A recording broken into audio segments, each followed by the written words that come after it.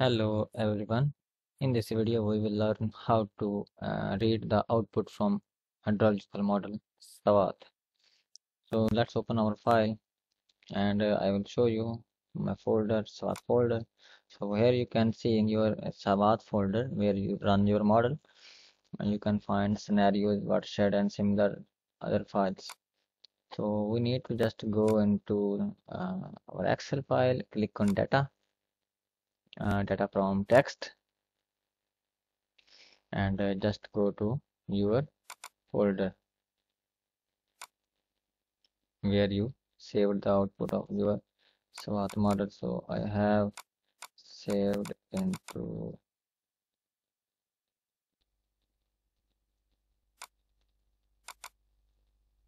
Gilgit. Uh, here you can find two folders, scenarios and watershed. Just click on scenarios, scenario, and uh, I have saved name, given the name as simulation of month. So I will click on this one and open it. So here you can uh, again find four folders. So just uh, you can find text in and out files. So click on open. So here you can, uh, it is saying that no item match matchable cells. So just click here on extension tab and uh, click on all files. When you click on all files, a lot of files will appear. So here you can find output dot rch output dot reach output just click on open so click on next next and finish then okay so here you can see your SWAT output is already here. So as a student of hydrology is uh, mostly trying to find out the flows outflows stream flows. So uh, you can see flow dot out dot cubic meter per second in g uh, g column. So for uh, that purpose, we need to delete the unnecessary rows from here and uh, uh, select three and these three uh, columns and click on filter.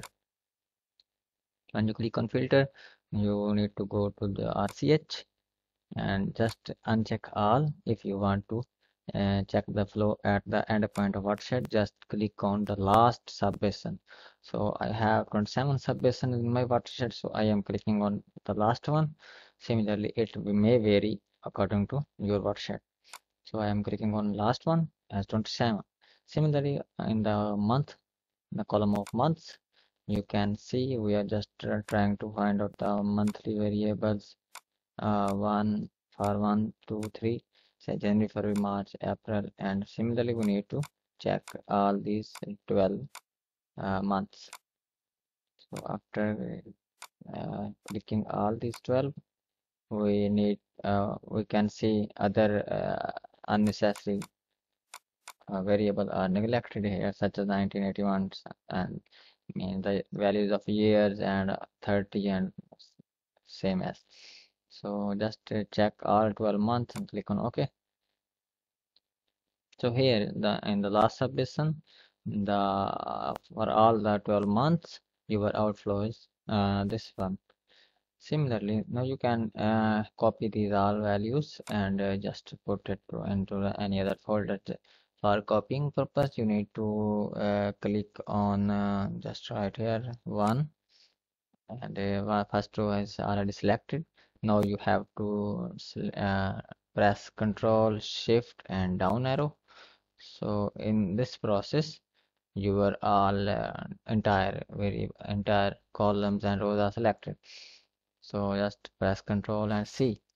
So in this way all of your data is already copied. And just uh, you can go to another excel file or just click on plus icon plus icon here. In this way you will uh, go to another sheet of excel. Here you just control press control plus v. And uh, your all uh, output is displayed here. So it is your main uh, tab uh, for stream flow analysis.